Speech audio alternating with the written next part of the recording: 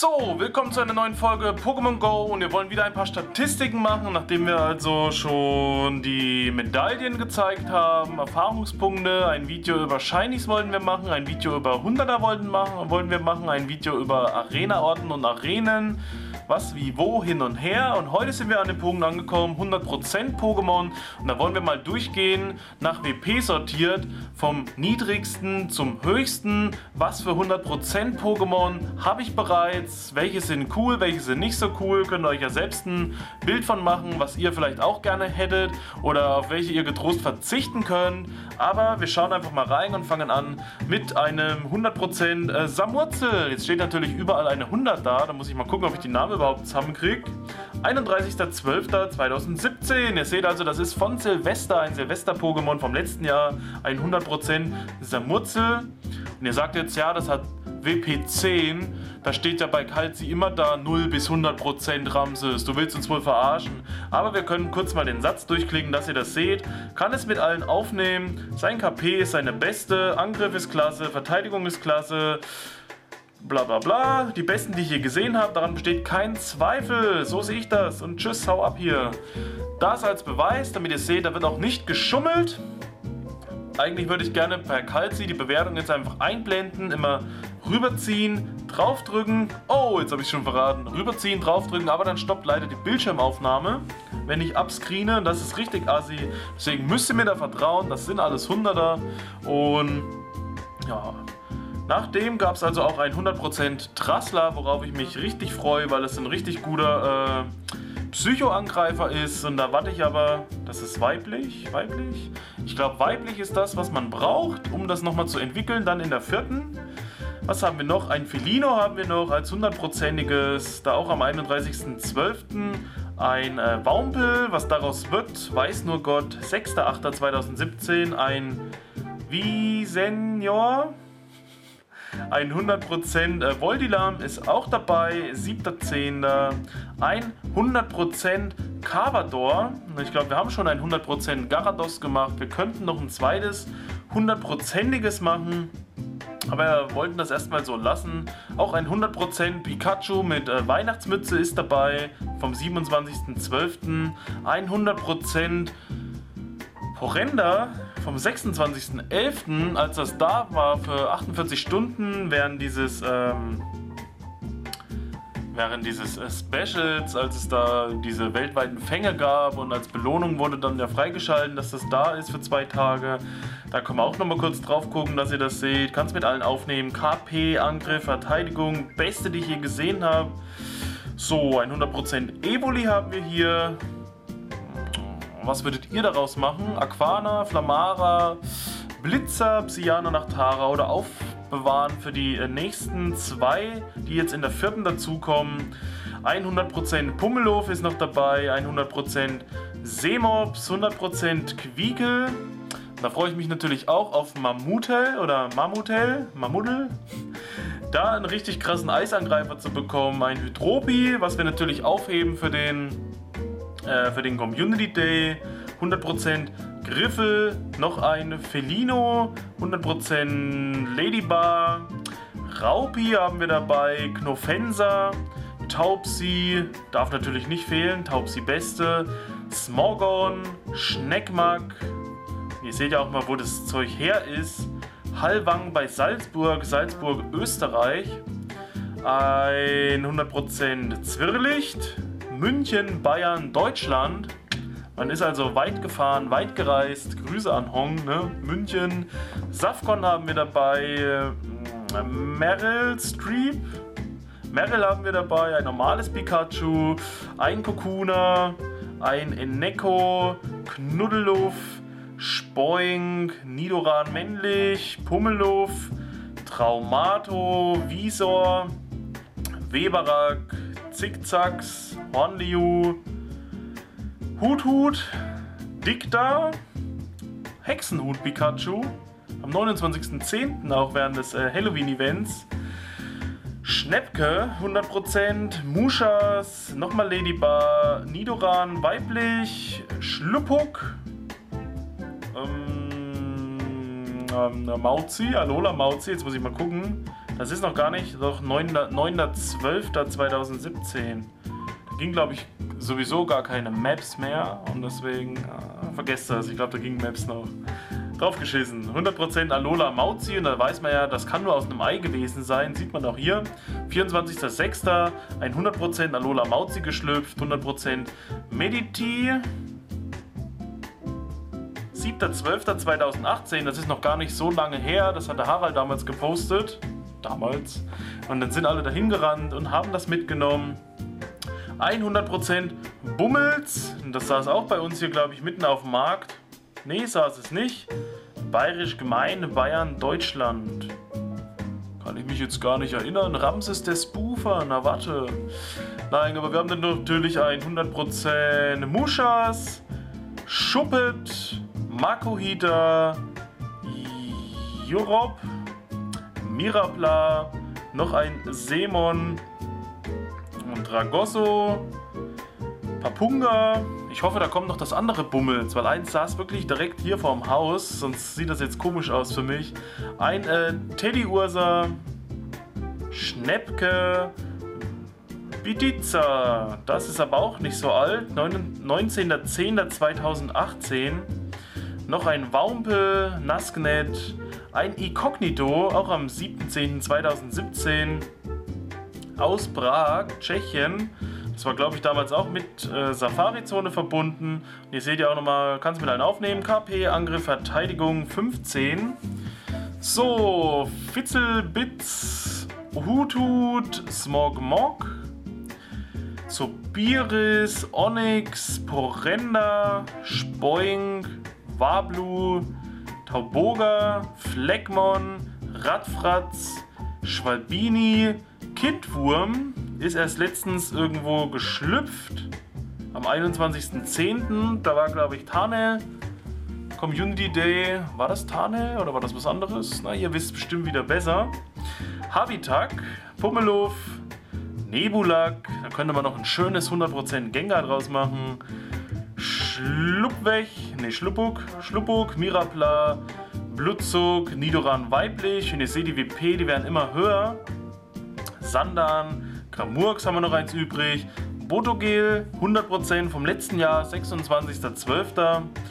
Natu, Pixie, Fitzel, Bitz, Fritzel, wenn ich Fritzel immer höre, Hunduster, Sepa, noch ein Botogel vom 25. Nidorino, Paras, Blutzug, Duflor, jetzt gehen wir schon auf die 1000 zu. 100% Porygon auch geschlüpft während der kontinentalen Eier-Dinger da. Ja, sieht man hier unten. 15.09.2018 und genau 1000 Bonbons, richtig cool.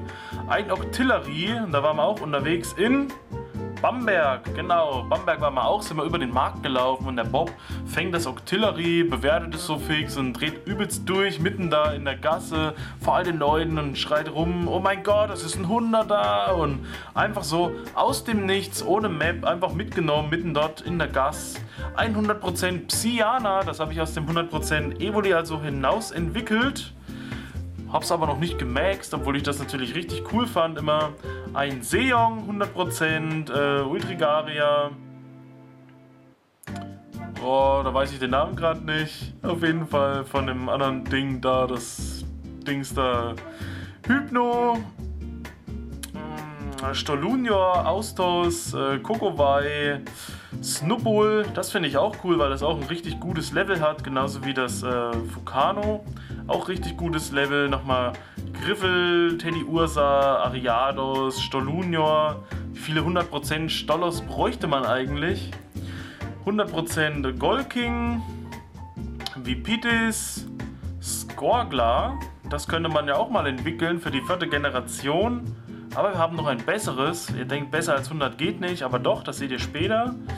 Äh, Visenior haben wir noch, Meditalis, Sandama, Oh, die Weiterentwicklung von Eneco. Also ich, ich habe schon so ewig den Namen nicht mehr gesehen. Das ist jetzt peinlich. Parasec, Tentoxa, Anorit 100 aus, am Strich gefangen aus dem Lokmodul am 26.05. Volbeat. Ja, Noctu oder so. Geradax, Mogelbaum, auch richtig krasser Dude. Stami, Quappo, Xbat, Taubos. Oh, weiß ich den Namen auch nicht, aber das sieht auch behindert aus, deswegen lassen wir den Namen einfach weg. Auf jeden Fall 100, kann sich dann zum Sumbex entwickeln. Fertig. Radikal, Gewaldro 100, äh, Altaria, Roselia. Da ist das, was ich meinte. Das geht noch besser. Neben einem 100% Skorgler auch ein 100% Glücks-Skorgler, sogar gleich mit besserem Level und was auch viel höher ist. Ja, weil der Level ist höher und deswegen, ja, das, äh, okay, ihr wisst schon. Auf jeden Fall auch glücklich, das kann man wirklich mal entwickeln und maxen, da fehlt nicht mehr viel und ist auch günstig dann. Nochmal Roselia, Ampharos, äh, Nido Queen, Pandimos, Pandimos, Schwalbos, Nido King, Bibor, Hypno, Glurak, Pixie, Banett, Satzenia, Voltenso, 100% Glücks, Stollos natürlich auch dabei, aber nicht gemaxt. Könnte man noch machen. Setra King, Keifel, das ist gemaxt. Das ist cool, weil das kann man direkt so wie es ist gleich nehmen und zu Mammute äh, entwickeln, wenn das endlich mal freigeschalten wäre. Megani, Turtok, Shiny mit Sonnenbrille. Gramchef habe ich entwickelt, letztens erst. So, 100% Bisa-Flor. Auch auf Max-Level. Ja, war auch vom mit Flora-Statue, weil das ja auch vom äh, Dings war. Weil das auch war vom Community Day. Ah, die Nachrichten immer. Dann ein Walreiser, das ist eins meiner Lieblings-Pokémon auch, weil das einfach so cool aussieht. Habe ich mir damals eine Eisarmee rangezüchtet, habe da mehrere genommen. Ihr seht eins, zwei, drei, drei Stück auf Max gepusht, 300er, 100% Gengar, da fehlen noch ein paar Pushs, aber das ist auf Max-Level sogar mit Dunkelklaue und Spukball auch 100%. Jetzt sind nämlich die interessanten Sachen da. Glurak nochmal 100% auf Max-Level, Rosarade auf Max-Level 100%, Sumpex auf Max-Level 100%, auch von Silvester. 100% Stollos, was jetzt genau die 3000 erreicht. Deswegen haben wir auch das Lucky nicht hochgezogen. Dann die Maromai-Armee, 100% Maromai zum ersten, zum zweiten, Alter, die sind beide vom gleichen Tag, zum dritten, zum vierten natürlich, 100% Simsala, 100% Elevoltec, 100% Relaxo aus einem Raid beim Friedhof damals, 100% Togekiss, aus dem Ei als Togebi und dann entwickelt. 100% Giratina aus dem Raid, also das ist auch mal eine coole Socke. 100% Garados. 100% Entei aus den Raids aus Coburg damals, glaube ich noch. 100% Lucky Rihornior, immer noch ein Riesenbrocken. 100% Dragoran, 100% Rayquaza, auch aus einem Raid und ja, ich glaube, das war's. Das habe ich nochmal so beschriftet. Und dann haben wir natürlich noch das Beste, ein 0% Raupi. Können wir uns den Satz mal angucken. Kann sich im Kampf noch verbessern. KP ist seine beste, auch Angriff ist klasse, auch Verteidigung ist klasse. Die Werte sind okay. Bam. So sehe ich das. Tschüss. Also richtig schlecht, ein 0% Pokémon. Genau wie hier. Ah, das ist schon wieder cool. Ein SS Pikachu, also ein Pikachu mit SS Cabby, 0%. Letztens erst in Erfurt gefangen. Na? Erfurt. Nein, ich wollte es doch nicht pushen. Wieso hängt denn der blöde Bildschirm schon wieder? Genau, in Erfurt gefangen letztens erst. Ein 0% Quiegel natürlich auch. Das wird mal ein schwaches Mammute. Und das war's. Hey, jetzt seht ihr hier nämlich nochmal alle. Von unten angefangen, nach oben hin. Wie die immer stärker und immer brutaler werden bis zu den Riesenkloppern aus dem Raid, die alle gemaxt sind und über 3000 WP erreichen können. Und mir wird schon richtig schlecht, wenn ich hier auf den Bildschirm gucke. Und die 0% da oben. Aber für das Rayquaza nochmal Dankeschön an Hosti, denn der war damals unterwegs in Schleusing, hatte meinen Account dabei. Ich war so besoffen noch vom Vortag, weil ich übelst feiern war. Hatte mein Handy bei mir, bin in der Gegend rumgebollert und er hat dann nur geschrieben, hey, bist du gerade in der App, soll ich einen Raid bei dir machen? ich konnte nicht antworten, ich habe das gar nicht gemerkt, dass er mir geschrieben hat. Er hat dann gesagt, ach, ich gehe jetzt einfach rein. Dann hat er den Raid gemacht, hat sich ausgeloggt. Ich bin den nächsten Tag aufgewacht. Er hat gesagt, guck mal in die App. Ich guck rein und einfach ein 100% Rayquaza dabei. Also richtig coole Sache. Aber nein, Alkohol ist schlecht. Nicht trinken, auch nicht jetzt an Weihnachten. Ja, ist wahrscheinlich schon längst um Weihnachten, wenn ich das sage. Ja, zu Silvester könnt ihr mal ein Glas Sekt trinken oder so. Aber richtig coole Sache. Danke an Horsti auf jeden Fall vom 21.02.2018. Das hat uns ins Jahr begleitet. Ist jetzt auch schon fast ein Jahr her. Richtig dufte. Jo, da freut sich's nochmal. Das war's aber von meiner Seite aus und ich merke schon, die Videos sind ziemlich langwierig und langweilig und gehen mir selber schon auf den Sack. Deshalb, wir sehen uns beim nächsten Mal. Bis dahin, Peace out, Vorhaut, euer Ramses.